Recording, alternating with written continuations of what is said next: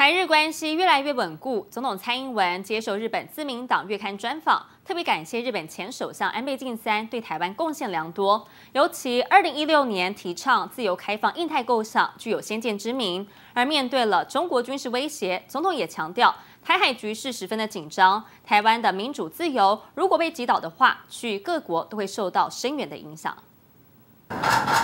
府内接见总统蔡英文，手中接过洪都拉斯新任驻台大使布罗德呈递到任国书，乐见民主伙伴深化交流，对抗威权扩张。全球威权主义正持续扩张，我们在民主阵营的伙伴更要携手共进，相互。扶持加强各领域之间的合作交流，向世界传递台海安全重要性。同一天，总统府也释出蔡总统日前接受日本自民党月刊专访，他强调台湾是全球高科技产品生产重镇，而台湾海峡是连接东海及南海的主要航路，因此台海的和平稳定攸关全球高科技产品供应链的稳定。如今台海局势十分紧张，要是台湾的自由民主被击倒，其余各国都会受到深远影响。台湾が協定の原則を受け入れ